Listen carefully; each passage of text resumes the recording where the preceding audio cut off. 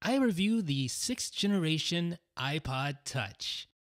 What is up, ladies and gentlemen? This is Jeff Benjamin with iDownload Blog. I have the iPod Touch 6th generation in hand right now. I've been playing with it for a while. I'm going to unbox it here for you. I'm going to review it. I'm going to compare it with the outgoing model, the iPod Touch 5th generation. Also compare it with the iPhone 6 slash 6 Plus. This particular model is a pink 16 gigabyte version of the 6th generation iPod Touch. So let's unbox it right now and see what's in this box. Looking very familiar, the iPod Touch sitting on top. You have some notes, a very brief introductory guide. It's actually only one page, so uh, don't go in there looking for really verbose instructions. They keep it extremely brief with the iPod Touch 6th generation. It comes with a lightning cable, of course. You'll need that to charge your device. It doesn't come with the power brick, so just keep that in mind. It does also come with a pair of earpods. Now, these are standard issue earpods. They aren't the deluxe model with the inline remote and the remote control, so just keep that in mind if you're looking for that. So here they are. Let's go ahead and pop them out of this little case. There we go.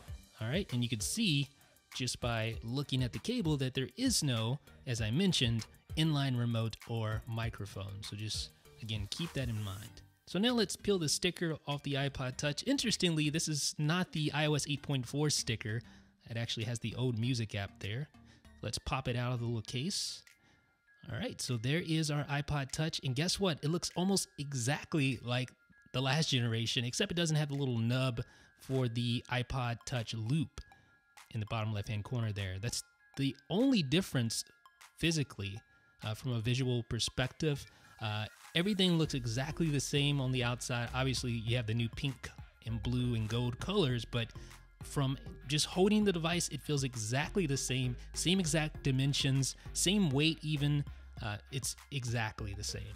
So there are several different colors to choose from. You have silver, gold, space gray, pink, which is new, blue, which is new, gold's new as well, red, which is product red. You have a 16 gigabyte version, a 32, a 64, and a 128, which is only sold at the Apple Store. Now let's talk specs. This iPod Touch 6th Gen comes with a 64-bit A8 processor, the same processor found in the iPhone 6. It also comes with double the RAM at 1GB, plus you get an 8 megapixel iSight rear-facing camera. You have faster Wi-Fi with 802.11ac, and you also have Bluetooth 4.1, which offers several improvements. Now let's talk real world performance because we could spout off specs all day. It doesn't mean a hill of beans unless it actually translates into a better experience, and it does. Trust me, that 64 bit A8 processor really makes a huge difference. It's night and day, really, with gaming. I won't say gaming was impossible to do on the iPod Touch 5th generation, but it was downright painful. This time around, it's much smoother, games load up way faster, and that extra half gig of RAM really makes a difference. Now, another advantage of the A8 chip is that now developers can use metal in their games, which allows the CPU and GPU to work closer together, which ultimately results in better looking and better performing games. Now, another advantage of the 6th generation iPod Touch is the presence of the M8 motion coprocessor, which continuously measures physical motion from sensors like the gyroscope and accelerometer, which allows apps to tap into that data to calculate things like steps that you've taken without draining your battery. Now, one last shout out to that 1 gig of RAM. The iPod Touch 5th gen had only 512, this has 1 gig, and you see the difference when browsing the web. It just really is apparent. And the iPod Touch 6th Gen also has a better iSight camera. So not only do you have more megapixels, but it's also capable of doing things like burst mode and even slow motion. Watch this. Yeah, you couldn't do that on the old iPod Touch. Now let's talk benchmarks. The new iPod Touch has the A8 system on a chip it runs at 1.11 gigahertz. It has 1 gig of RAM. The old iPod Touch has the A5 clocked at 800 megahertz and only has half a gig of RAM. Big difference, as you can see from the scores there. Now let's compare the iPod Touch 6th generation with its 1.11 gigahertz A8 processor and 1 gig of RAM to the iPhone 6 Plus with its 1.4 gigahertz A8 and 1 gig of RAM, and the benchmarks don't lie.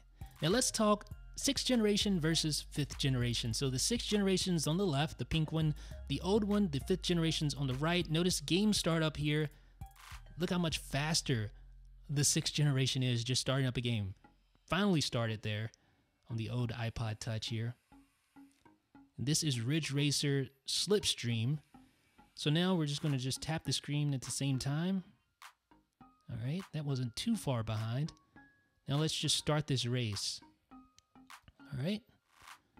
Now this is really telling. This shows you how much more powerful. We're already into the game now on the uh, sixth generation. In fact, I'm about to start the race and the other iPod Touch 5th gen hasn't even started yet. I'm racing now and that one's still loading. Now it's finally loaded up. So you can see there's an obvious difference with processing power there. Now let's talk about web browsing. You have a faster Wi-Fi chip in the new 6th generation iPod Touch, slower one in the older.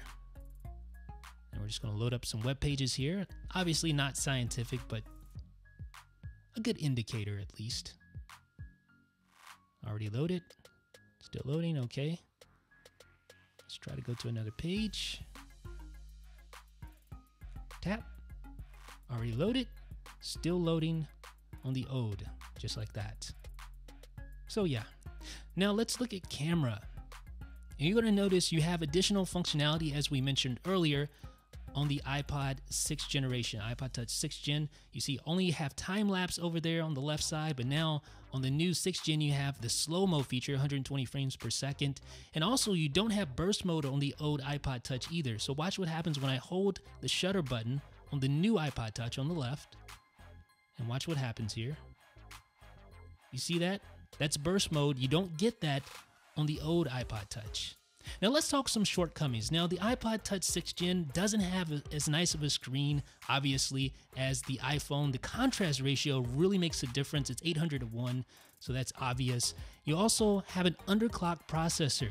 Same A8, but the iPod Touch is underclocked. Now here's something I didn't think I would miss as much as I do, but I really do. It is Touch ID.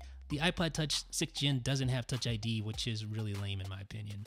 Now, the obvious biggest difference between the iPod Touch 6th Gen and the new iPhones is size. Like, the iPhone 6 Plus and 6 are much bigger in size than this 4 inch device here. It is absolutely dwarfed in my hands now. Um, yeah, and it's just not as fun or immersive to play games because it's so small, but it does fit in my pocket with ease. I like that. I really do. Should you buy it? Well, if you're a gamer, and you don't have an iOS device, then why not? It's great for games and it's relatively cheap. The cheapest version is 199. Now, if you're a young person and perhaps your parents won't let you get an iPhone just yet, well, this is another reason why you may want to consider the iPod Touch. You can have all those great iOS apps and games without actually having to splurge and pay monthly fees for an iPhone cell phone contract. And if you have an old iPod Touch, well, yeah, definitely you're going to notice a difference between that old device and this one. So if you really like the iPod Touch, its form factor, but you just hate how slow it's become with iOS 8, then by all means, this is a worthwhile upgrade. There's a low barrier to entry with this reasonable price, and because this device is fairly powerful, it should last for a few years. Let me know what you guys think down below in the comments section. This is Jeff with iDownload Blog.